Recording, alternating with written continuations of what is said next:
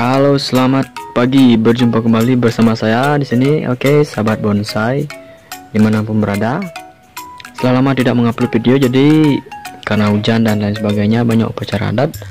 Jadi saya belum sempat mem membuat video, guys.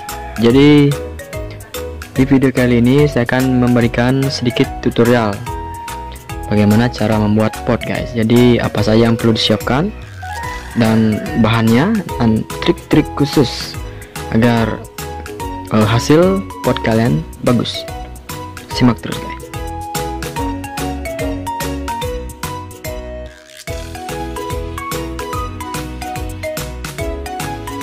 Teman-teman semua jadi saya akan sedikit mereview hasil dari uh, pot yang saya buat sendiri ya. Gitu. Jadi ini adalah stagernya hasilnya tidak begitu rapi namun bisa teman-teman lihat coraknya lumayan bagus bukan? Dari kejauhan. Itu semua hasil kerja saya guys. Untuk pot ini adalah buatan saya. Ini saya menggunakan cetakan saya menggunakan cetakan uh, baskom ya. Jadi bentuknya seperti baskom. Yang ini saya juga cetak kemarin tapi pertama kali ya cetakannya. Saya coba-coba dan hasilnya seperti itu. Kurang bagus tapi lumayan bagus jika dikomunikasikan dengan pohon yang bagus seperti ini contohnya. Sini juga ada setelah sekian kali saya mencoba dan ini adalah hasil uh, yang kesekian kalinya guys. Seperti itu. Lumayan untuk seorang pemula. Jadi inilah bonsai ini juga hasil pot uh, dari uh, kerja tangan saya guys. Tidak begitu bagus namun lumayan sebagai pemula. Dan di situ masih banyak lagi.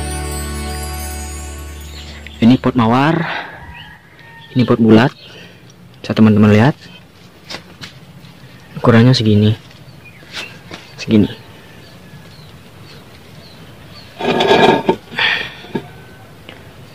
Keren bukan?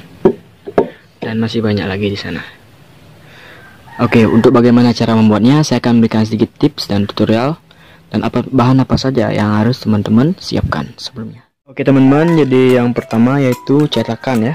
Ini adalah cetakannya teman-teman bisa menggunakan pasir sebagai cetakan di tengahnya. Jadi sistemnya kita kerja dari luar guys. Jadi jadi untuk lubang tempat media atau tanah kita uh, pakai ini pakai gini guys. Ini pakai bahan triplek. Jadi lebih bagus. Kenapa? Karena jika menggunakan pasir uh, tremornya sini akan agak berat guys. Seperti itu. Dan kalian angkatnya juga agak berat. Jadi saya memiliki berdasar lain jadi saya menggunakan ini. Ini sebenarnya bisa teman-teman buat namun untuk memudah saya tadi saya pinjam sama saudara guys yang ini juga. Ini saya gunakan keramik yang ini. Kenapa? Pada saat pengangkatan agar tidak melenjang melinju tidak bergerak itu. Jadi keramik sifatnya kaku itu. Kan menjadi lebih baik. Oke selain itu ini adalah cetok ya. Jadi ini saya buat dari ini saya buat dari sendok bekas. Bisa teman-teman lihat. Di sininya lurus di sininya bengkok. Ini memiliki tujuan tersendiri guys. Jika teman-teman ingin membuat uh, permukaan yang lurus bisa teman-teman gunakan yang ini. Jika teman-teman ingin membuat lekukan bisa buka uh, bisa digunakan ini seperti itu ini gagangnya saya pakai tali. Ini juga saya pakai tali. Ini ujungnya guys. Jadi ini tujuan untuk yang rumit-rumit. Seperti itu. Ini cetok seperti itu. Untuk medianya adalah seperti biasa pasir. Sebelum kalian menggunakan pasir, alangkah baiknya kalian mengayaknya seperti dahulu ya. Semakin halus pasir, semakin bagus. Ya ini karena ini saya buat pot besar, jadi ayakannya nggak begitu halus ya. Seperti itu. Mungkin ukurannya seperti ini. Ya. Oke, untuk uh, volumenya untuk cetakannya ini saya gunakan plastik. Kenapa? Karena agar ketika pengangkatan lebih mudah, guys teman-teman juga bisa menggunakan uh, oli ya oli bekas jangan oli yang baru mahal bro oli bekas dioleskan sini agar media tidak uh, tidak nempel pada permukaan cetakan seperti itu. Oh ya untuk kekuatan dari pot yang kalian buat agar tidak ragu-ragu itu. Kalian bisa menambahkan kawat. Tidak perlu kawat yang besar cukup kawat seperti ini.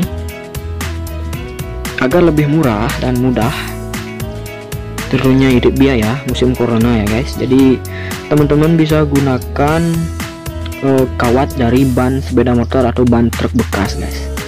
Jadi ban itu kalian bakar di tempat pembakaran. Jadi itu akan menghasilkan kawat seperti ini. Kawatnya bisa kalian gunakan guys. Itu kawat baja bukan kawat sembarangan ya.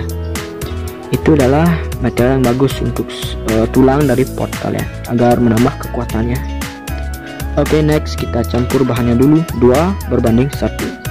Satu pasir dua semen. Oke okay, teman-teman jadi campurannya adalah satu banding dua. Jadi pasirnya satu semennya dua. Seperti itu. Saya menggunakan takaran yang ini. Jadi satu ember ini semen semua guys. Oke kita aduk-aduk dulu. Aduknya harus rata bro. Sebelum dicampur dengan air teman-teman harus aduk dulu guys. Jika jika dicampur dengan air langsung semennya akan gumpal bro. Jadi aduk dulu sampai rata. Skip. Baru kita tuangkan air bro. Jangan terlalu banyak karena jika terlalu banyak encer tuh ya tunggu. Oh iya saya lupa tadi teman-teman. Jadi sebelum kalian um, mengaplikasikan semennya alangkah baiknya kalian mengaplikasikan oli bekas di pinggiran-pinggiran bakal bibir pot kalian guys. Sudah barang tentu memiliki tujuan agar pada saat melepaskan uh, pot yang sudah jadi jadi tidak ada masalah. Jadi intinya tidak nempel pada keramik seperti itu guys. Inilah hasilnya. Seperti itu. Jadi jangan terlalu banyak. Jadi cukup oleskan oke teman-teman. Jadi setelah uh, campuran terjadi jadi hal pertama yang harus dilakukan adalah satu kalian tidak harus mengoleskan semuanya semen itu kepada ke seluruh bagian namun cukup pada bibir terlebih dulu. Kenapa? Karena pondasi untuk menopang semua semen di atasnya itu agar kuat dulu baru kita akan make it full. Gitu guys. Jadi intinya kita secuil dulu segini. Oleskan dikit demi dikit agar hasilnya lebih maksimal seperti itu. Jika kalian oleskan semua saya pribadi itu semua akan jatuh guys. Kenapa? Karena tergantung campuran yang anda buat. Jika campurannya terlalu encer semua akan jatuh. Jika campurannya uh, lumayan padat itu bagus guys. Tergantung kalian. Saya akan rekomendasikan ketika anda ingin bekerja lebih mudah buatlah campuran yang agak keras. Agar lebih mudah dan lebih cepat kering seperti itu. Jika menggunakan lebih keras, di dalamnya akan ada tekstur agak lubang-lubang seperti itu guys, karena dia cepat kerang, keras. Kalau menggunakan yang agak lembek, hasil di dalamnya akan rapi seperti itu guys. Ada dua pilihan, silahkan dipilih seperti itu. Lanjut. Oke teman-teman, jadi seperti ini penampakannya. Selesai poles yang kedua kalinya setelah dasar tadi jadi kita tidak bisa langsung uh, full ya karena uh, kebetulan semen yang saya campur tadi agak lembek ya oke sahabat bonsai jadi setelah lama mengorek-ngorek ini saya hanya menggunakan yang ini guys tidak ada mal tidak ada lain sebagainya jadi membutuhkan lumayan banyak waktu guys Motifnya sangat simpel, jadi listnya ada di sini dan di sini. Oke sahabat bonsai, jadi setelah menunggu satu hari, jadi inilah hasilnya guys. Bisa teman-teman lihat, ini putih-putih karena saya telah amplas guys. Bentuknya lumayan bagus, bukan? Di dalamnya seperti ini, akan timbul lubang-lubang. Jika teman-teman mau lebih rapi, bisa ditambal-tambal lagi dengan menggunakan semen halus ya, seperti itu. Oke sobat bonsai jadi segitu saja dulu tips atau uh, sekedar informasi tutorial cara membuat pot sederhana menggunakan semen dan pasir jangan, jangan lupa like, comment, subscribe karena itu akan mendukung saya pembuatan next video terima kasih. Salam satu hobi, salam bonsai salam rahayu